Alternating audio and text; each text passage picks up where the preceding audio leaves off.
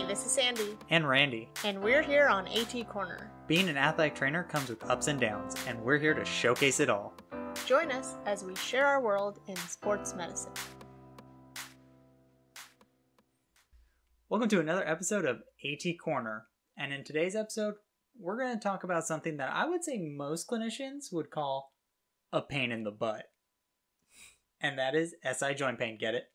Pain in the butt. Yeah, I get it. By the way, later in the show, you'll hear the referred pain patterns, and there might be some butt pain. Oh my gosh. Okay.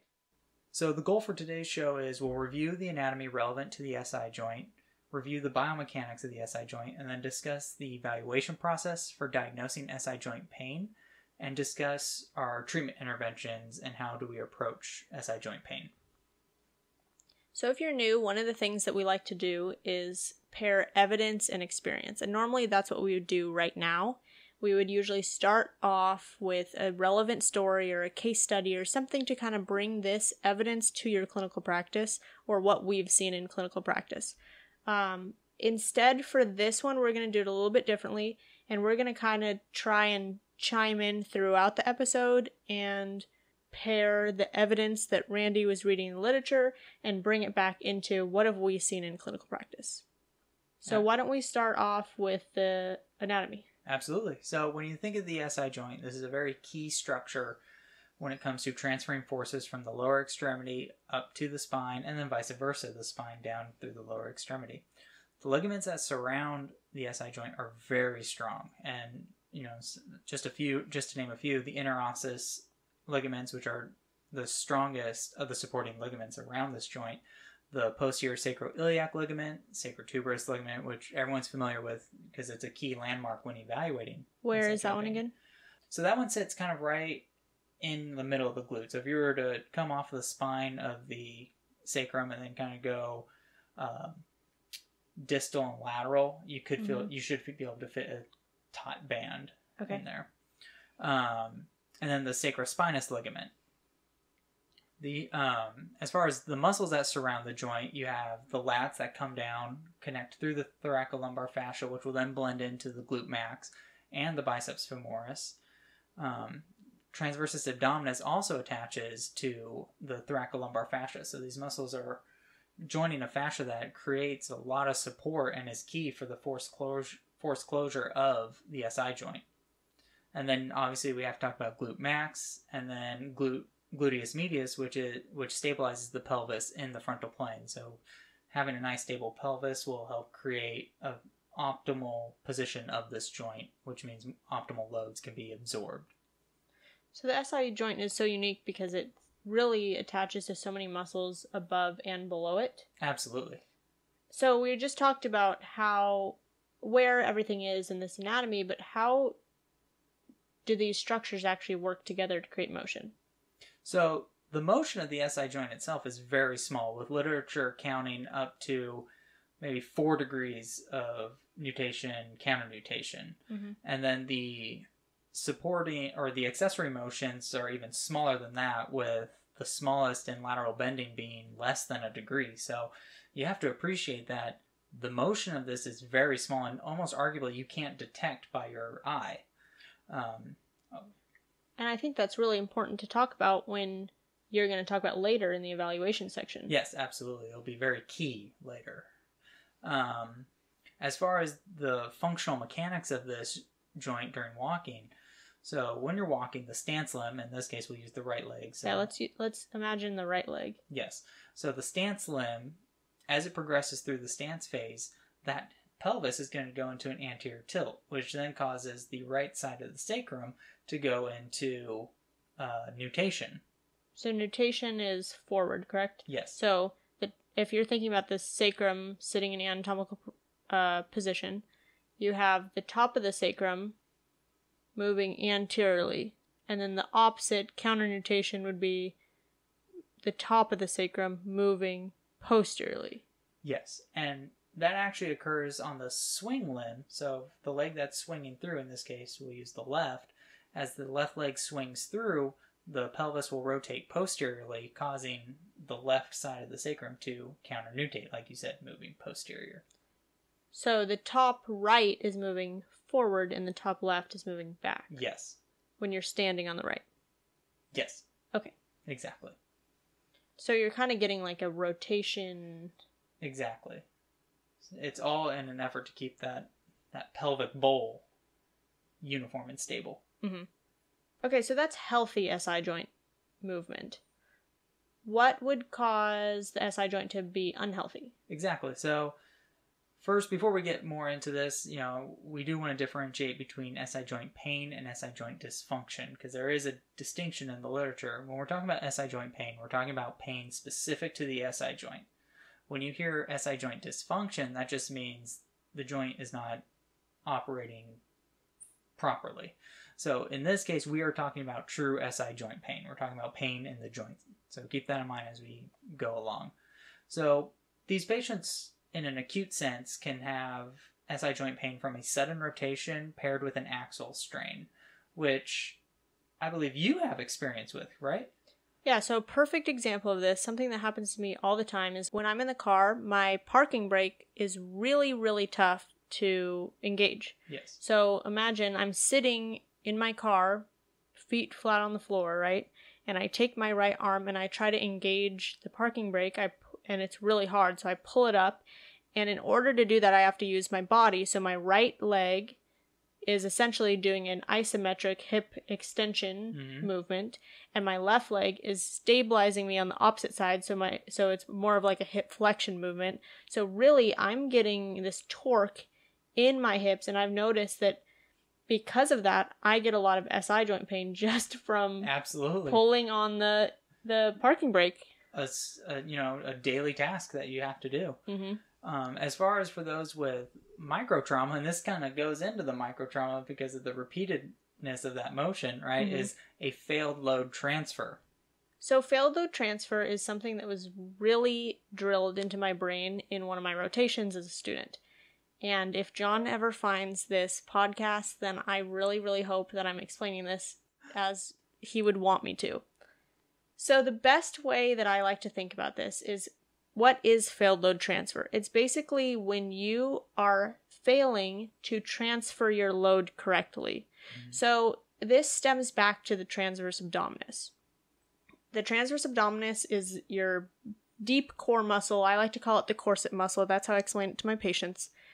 It goes from the front of the abdomen around it attaches in your ribs and on your pelvis and goes all the way around and attaches into your spine. So essentially what it's supposed to do is protect your back.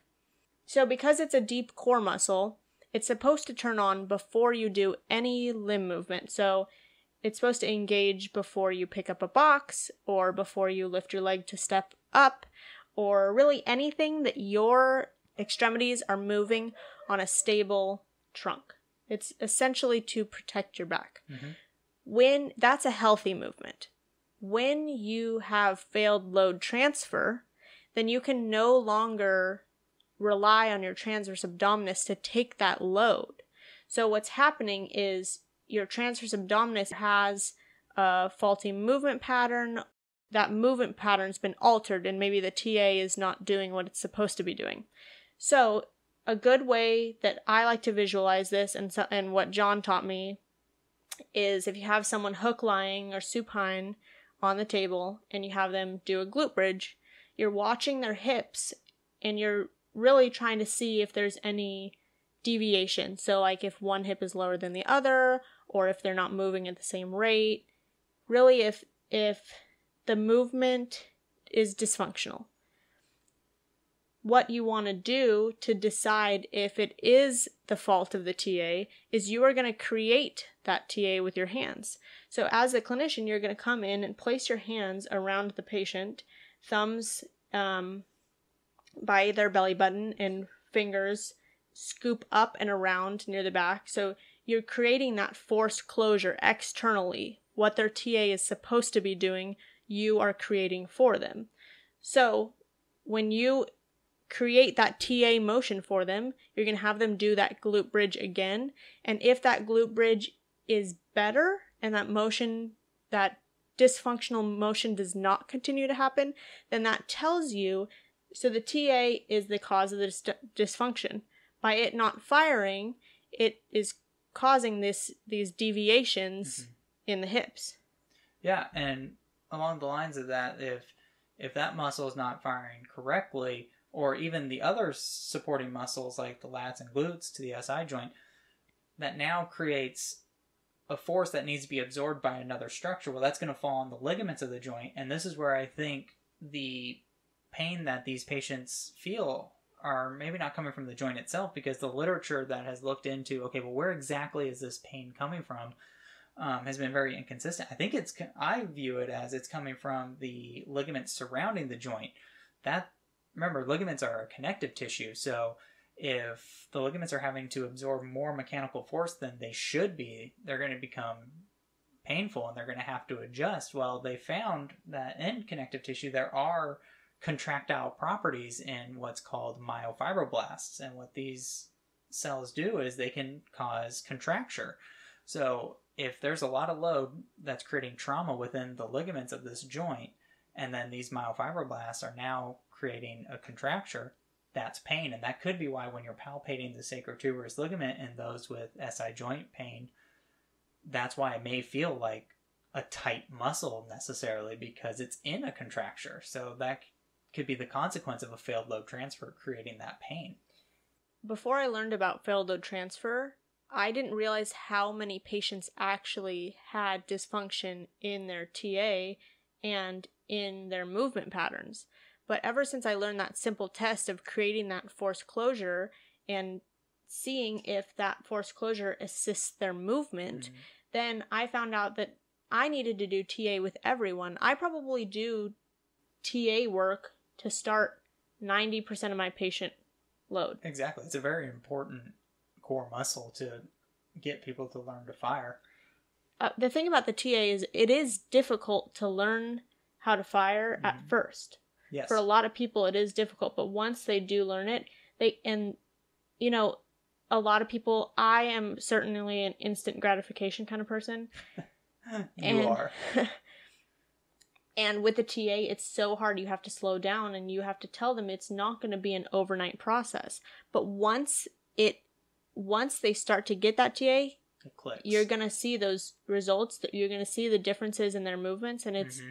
especially in the patients who know their bodies like all your endurance runners, yep. your performers, your swimmers, all those people especially are going to feel the difference. Absolutely. When they start using their TA. So when a patient comes in with SI joint pain and this was very interesting as I was reading is they're going to complain of pain rarely above L5. So if they're complaining of pain above the level of L5, it may it's probably not the SI joint that's causing the pain. It might be somewhere else. So remember as you're going through this to rule out any other low back pathologies like a you know a disc herniation or you know um, a stenosis or anything like that. But these patients will mostly have pain around that posterior glute. Um, the patients will these patients will also complain of pain with sitting on a hard surface or changing positions, whether it's standing from sitting or going from uh, standing to sitting. Because again, what's happening there? The nutation and counter nutation is you're taking weight. Exactly, and that load, you know, it's mm-hmm. transferring load. So if you have a failure to transfer load, that's the mechanism right there, and you're seeing it.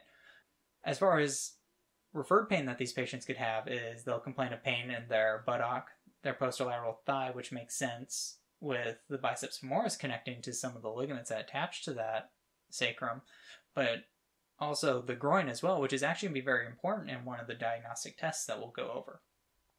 So then, are we seeing when people have hamstring? You said biceps femoris plays a big role mm-hmm. uh, in the attachment site or the origin site. Yeah are we seeing in our hamstring? Have you seen in your hamstring patients any SI joint complications? Well, well, that's actually funny that you bring that up because they've done some studies before where you know those with hamstring pain or hamstring uh, strains, they worked on the mobility of the SI joint, or what I would prefer more the connective tissue around the SI joint, and it actually helped with their hamstring pain.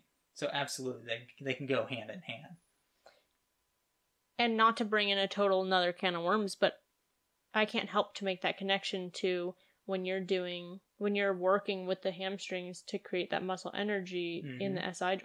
Absolutely. So when you're evaluating someone with um, SI joint pain, right? We talked about how it presents and the history they'll probably go over, but then we've all learned about the pain provocation test, right? And everyone's probably familiar with the Laslett rule, even though they may not know the name. And essentially, what that is is the rule is that if three of five tests are positive, then you can have high confidence. And, you know, for those who've read the literature, you know, it has high sensitivity and specificity and all that. You can have high confidence that the pain is coming from the SI joint. And what these tests are, are it's the distraction test, compression test, uh, thigh thrust, Gaenslen's, and sacral thrust, which, if you go to our YouTube, we have a video on how to perform these tests to give you an idea of what they are. Uh, Or a good refresher. Exactly. Uh, that's a very common one that most people learn as their rule, and it is it when you use that rule, it is very good at identifying SI joint pain. Uh, a new one that I learned as I was reading the literature is the Kurosawa diagnostic scoring system, and essentially what they did is they kind of did a similar thing where they grouped a bunch of tests, but this time they assigned points to it. Uh, how this system is made up is the one finger test is three points. So the one finger test is positive if the patient points to their PSIS as the source of pain. So that's three points. You know, I try to get my patients to point with one finger, And they end up like circling the yeah, area. exactly. uh, groin pain is two points, which again, th- that's a, Referred a- pain. a referred pain, and it shows how big of a deal it can be to indicate SI joint pain. Uh, pain with sitting on a chair, sacroiliac joint shear test, which essentially is just pushing on that SI joint to create shear. Tenderness of PSIS, and then tenderness of the sacrotuberous ligament were all one point. And what they used as their cutoff was if a patient scored more than four or five points, that had a high sensitivity and specificity for SI joint pain. So if they scored more than five, four or five points, you could have confidence in your decision that the SI joint is the cause of pain. That's what we need to focus on. Now, we can't talk about the SI joint without also talking about SI joint mobility tests. And, Mhm. you know, a lot of people feel comfortable with them, and there's a ton out there. We're not going to, you know, Over yeah, all we're not going to spend a whole time going over all of them. But what I thought was very interesting, if you remember, we talked about the SI joint doesn't move very much, and you can almost argue that the movement that it does have can't be a, um, caught by the human eye. So when we're doing these tests, literature is very inconsistent, and they've shown to be not very reliable at identifying SI joint movement. And I know what people are probably thinking, like, oh, I do it all the time. I see the movement, I see which one's stuck, which one's free. What I would argue is when you put your thumbs on the you know, on the PSIS, what are your thumbs over? Tissue. Exactly, soft tissue. It's the same thing when we do kinematic studies, right? You put the little reflective marker, the video game reflective markers on, Mm. but that's over skin. So technically, you're not getting, you may be getting more of the skin motion and the tissue underneath than true bone motion. Well, that's the same idea here. Which is not which is not saying that it's not giving you some information. Exactly. You're I'm not saying you can't get information from this. I think we need to define the information better. So instead of saying I'm looking at the SI joint and this this side of the sacrum is stuck, well maybe it's not the sacrum itself. Maybe it's the connective tissue underneath. We just talked about how extensive the connective tissue overlies this area. So what if when you're doing these tests, the motion that you see restricted isn't the bone or the joint itself, but the soft tissue. Mm-hmm. So you still have valuable information. We just need to define it better. That's how I think we should be looking at these SI joint mobility tests. So don't just throw them out. Just redefine what you're looking at. Well, and that makes so much sense leading into the next thing why manual therapy is such a good treatment for this. Exactly. It could definitely one help with pain. Just being able to work with someone with your hands helps their pain. You know, literature behind that has been very supportive. But also you may make an effect on the soft tissue itself. You know, working on the connective tissue to loosen it up or let that collagen not clump up into one area but let it spread out as you should as it should as you're healing. I have so many patients with SI joint pain, and usually the culprit. Well, I have a I especially in my performer specific Mhm. population, a lot of them have hip hiking issues. So when they're doing that, their QL is shortened. And so I'm having to deal with a lot of QL spasm. And it's interesting that you bring that up and that you like to work on the QL because the QL does share attachments to the thoracolumbar fascia. So if that's in spasm, that means the rest of the musculature that is connecting to that fascia may not be functioning properly and then failed load transfer. And then also, if it's in spasm, it could affect how the pelvis sits. Mm-hmm. Um, as far as manual therapy, a lot of people like to go with manipulation for this, and the literature behind it, as far as well, when you think of manipulation, you think of oh, the joint is being adjusted, it's the bones are moving, right? But the literature is very inconsistent on if um, there's actually a change in bone position, with some say, studies saying no, there wasn't a change in bone position after manipulation. But that still doesn't mean it can't help because as clinicians, we've seen benefits from it. So I think, again, manipulation can have an effect on soft tissue and connective tissue. So maybe that pop and, you know, the manipulation that you're going with, maybe it's relieving spasm or loosening that connective tissue. And that's where we bring where that's where we bridge the evidence and experience because yeah the literature is saying that maybe this is not actually what we're doing but in clinical practice we're seeing positive outcomes from doing these things. So really if you are finding positive outcomes then why listen to something that's saying that don't do this exactly and i would say to redefine what's happening not just like oh i'm adjust you know i'm moving the bones well no it might be the soft tissue itself. So I think you just have to redefine it, not just throw it out because literature says, hey, bones may not move. Well, that doesn't mean that it still can't be beneficial. Mm-hmm. And it also goes to muscle energy. You know, same thing, muscle energy has a huge effect on soft tissue itself. So that could be another reason why those that are doing muscle energy for SI joint pain are seeing a benefit because it's affecting the soft tissue. Mm-hmm. So, um, another key to the treatment of SI joint pain is our rehab. And I think our rehab really has to focus on working on those synergies and load transfer. You know, there's a huge lat and glute synergy, you know, from the lat and the contralateral glute. Well, let's work on that. Let's work on that synergy working together because if those muscles are working properly, it's going to create a lot of tension through that thoracolumbar fascia, which creates an optimal force closure, less shear on the SI joint, which means less shear goes to the supporting ligaments, less pain. And then also goes to your core, right? The transversus abdominis, the obliques, they do have connections to the thoracolumbar fascia. If you train those properly, you're getting more tension through there, optimal tension, better force closure. Mm-hmm. So the focus needs to be on making these muscles all work together because it is a huge synergy in that area. And there's so much going on in that area. Absolutely. So that was kind of the main that was the like the meat and potatoes of today's show. So, like we like to do with every show, we want you guys to be able to take away specific action points to take to your clinical practice. So, obviously, I totally believe in doing TA with as many people as need it, which is probably more than you think. And what would you take away from everything that you've said today? What is your action item? I would say the biggest thing to take away is the SI joint is surrounded by very strong ligaments that make this joint very limited in motion. The pain that these patients are probably complaining of is coming from those ligaments and coming from the soft tissue around this joint. So our focus should be working on the soft tissue around it to relieve the pain, relieve any spasm that's around it, and then work and the rehab should be focused on the synergies, the core, the glutes, that's what I would say we should focus on when we have SI joint pain.